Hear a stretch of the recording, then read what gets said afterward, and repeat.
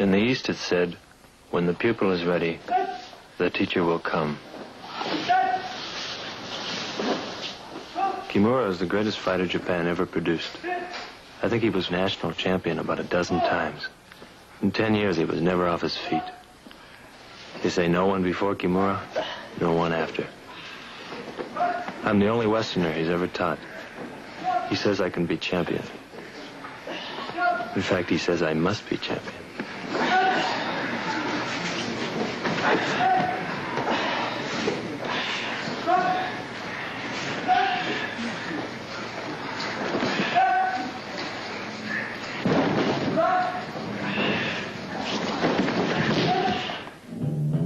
I don't think Kimura recognizes physical limitations.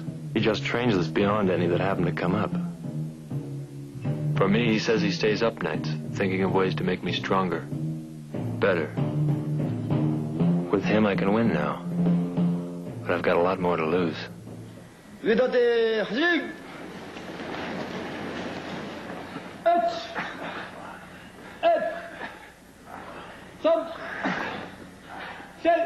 Each member of our university team does 600 push-ups a day. Once in a while, we do a thousand. This is unreasonable. We know that. But it pushes us beyond a physical limit. To another place. Way outside or way inside. I don't know where exactly. But I've been there.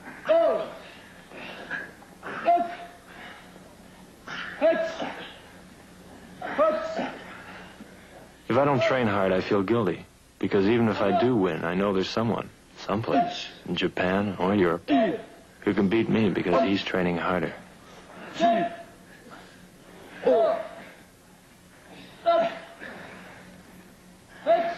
Usually, as the numbers increase, so does the height of my behind, which is considered something of a Japanese landmark. 1 3